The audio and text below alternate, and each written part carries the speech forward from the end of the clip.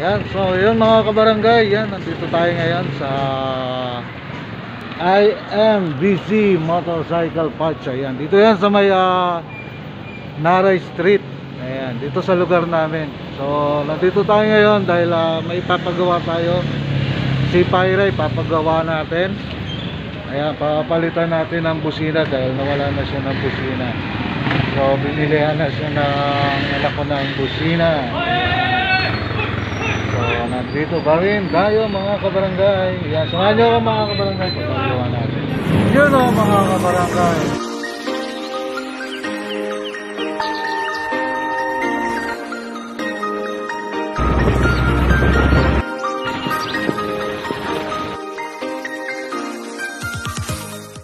Ah, yan mga kabarangay, yan yung ah, ipapakabit natin na busina. Yan yung PIA.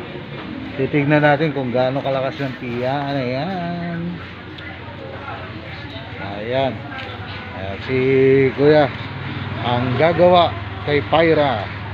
Ayan. I-installan niya ng bagong wiring. Alis na yung mga lumang busina dyan. Ayan. Kakabitan na. So ayan, makikita niyo si Pyra mga durug-durug na kasi hindi tayo ang gumagamit. Ayan. Kaya medyo napapabayaan na si Pyra. Ayan mga kabarangay, yan yung ah, shop nila, yung IMBC Motorcycle. Ayan.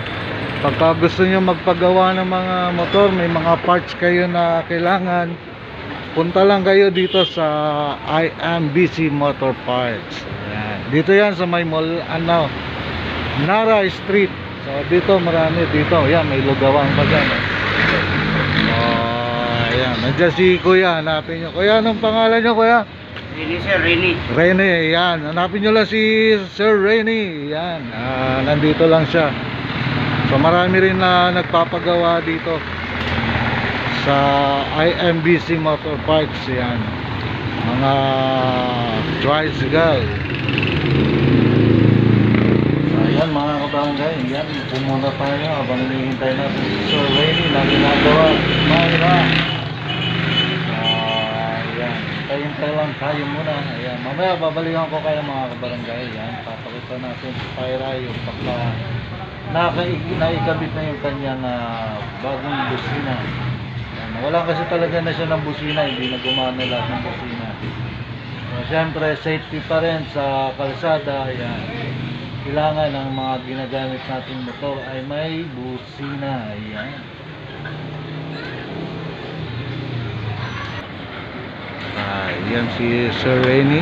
Ayan. Uh, tinicheck na yung wiring para na ayan. Yung pagkakabitan ng busina. Kasi ayan, mga luma na kasi yan. Yung matagal na talaga yung wirings na yan. So hindi natin alam baka lost na yan at saka ano ah, hindi pala wala na yung connection at ah, maluwag na ayan ayan mga kabarangay yan tumutunog na ulit ang busina ni Pyro ayan check natin yung busina so, gaano kalakas ayan Ganyan na siya kalakas ang kanyang busina. Yan yung mga businang itinanggal kay Pyro. Yan yung mga hindi nagumana. Yan yung busina na yan. Tsaka yung isa. Ayan.